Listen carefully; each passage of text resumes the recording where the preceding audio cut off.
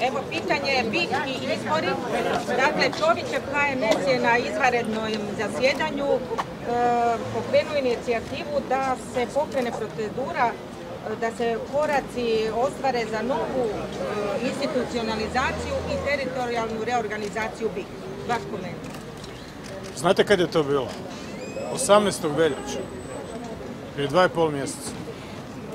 Sad su to samo ponovili. Kada bi naši političari, ljudi, Plenković čitali ono što institucije, konkretno u ovom slučaju hrvatskog naroda u Bosni i Hercegovini pišu, a ne se bavili točkama i zarezima u besplodnim kilavim briselskim traktatima, onda bi možda nešto shvatili. Dakle, to je e, ozbiljna stvar što oni najavljuju. Ja ne bih volio da to ode u tom pravcu.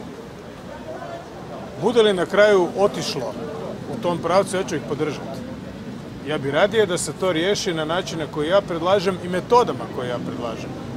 A to je ovaj slučaj širenja NATO-a. To je hrvatski trenutak istine. Bili smo nacija ili nismo. Ako nismo, da se, brate, raziđemo.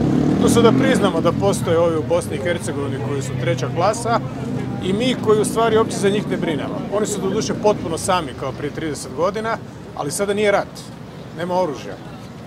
Dakle, ili ćemo kroz pritisak, pritisak, ne ucjenu, nego politički pritisak, kroz NATO, da nas se ne tretira kao krušne mrvice koje vrapci jedu na podu, isposlovati to, istjerati pravdu, da se taj problem izbornog zakona riješi ukazom visokog međunarodnog predstavnika, to je moguće. Bakir Izetbegović je pod kontrolom Ankare i Istanbula.